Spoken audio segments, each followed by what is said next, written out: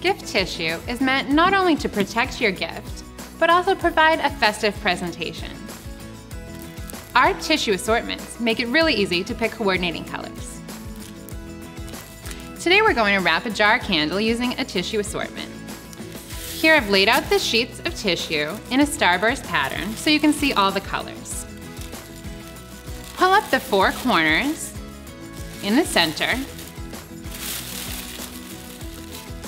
and then draw the rest into the candle, pulling it tight like this. Now here you could add a bow or place it into a gift bag.